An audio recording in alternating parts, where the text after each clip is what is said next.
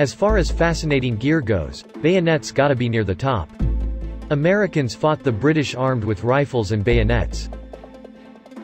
Ever since then, the United States military has fielded bayonets in some fashion or another. Bayonet charges were quite common when your rifle's fire rate was 2 rounds per minute and cavalry on horseback could rout a troop. These rifle-mounted blades in battle were quite common up to the end of Korea. Millett's charge in Korea is one of the most famous. Marines wielding bayonets charged across an open field to take an airfield on Peleliu during World War II. Heck, Vietnam saw some BOUs, but around that time, the bayonet had begun to see its decline. To do this day, various rifle-mounted knives remain issued to troops, and they've even been used a time or two during the global war on terror. Keep in mind the global war on terror has lasted 20 years now. In those 20 years, we've seen two real Bayo uses.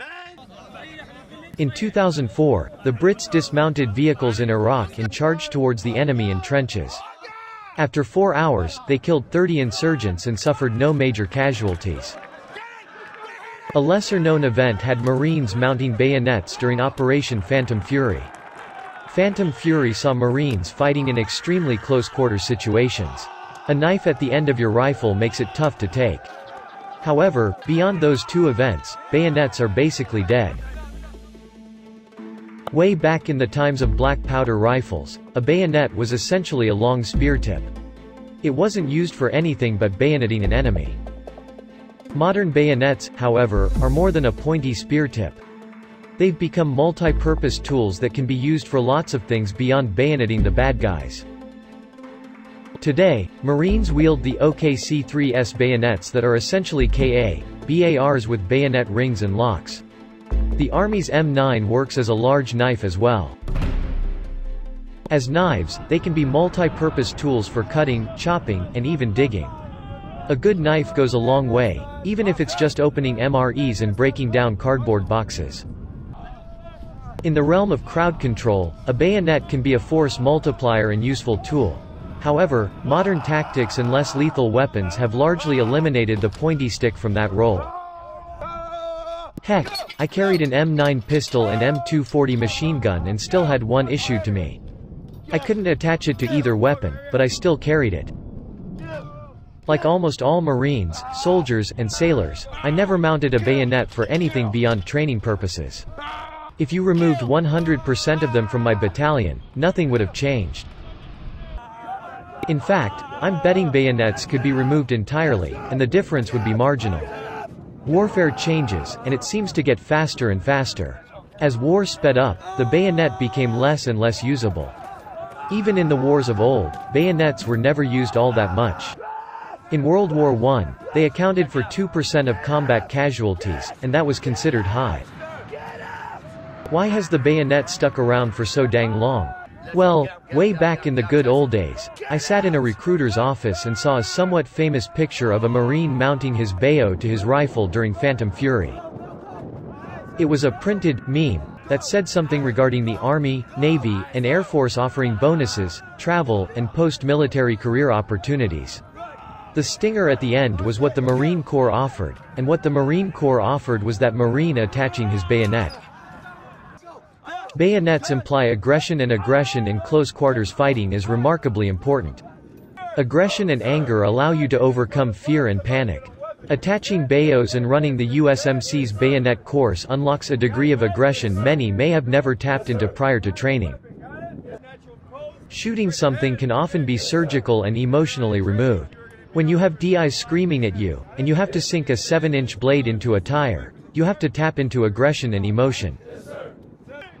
Bayonets might still act as knives and be somewhat useful, but their biggest use comes from unlocking that aggression. They instill a warrior spirit and release something in people they may not have been aware they had. The will to meet and destroy the enemy in hand-to-hand -hand combat is the spirit of the bayonet.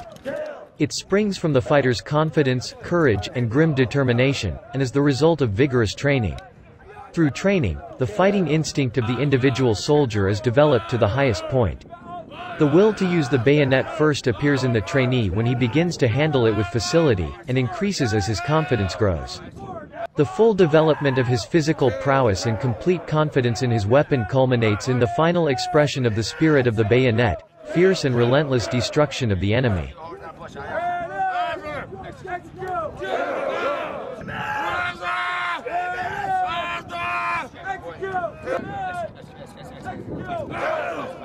All you face right now. Put your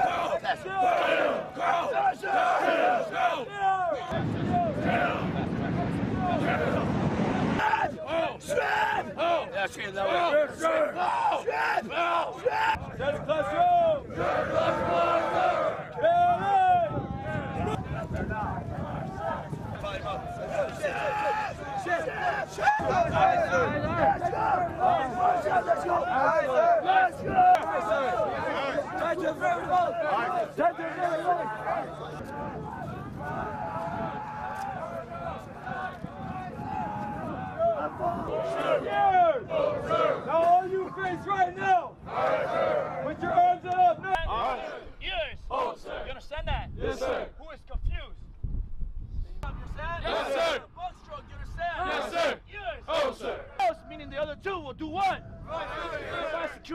Two eyes to the front. So who asked the question?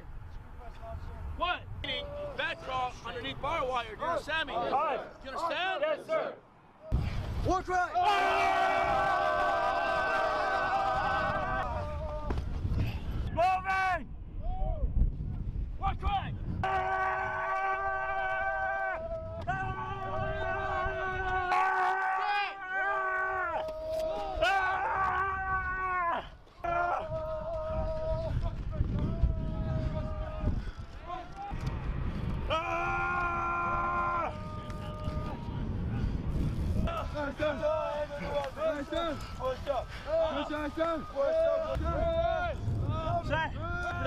Faster! Faster! Push!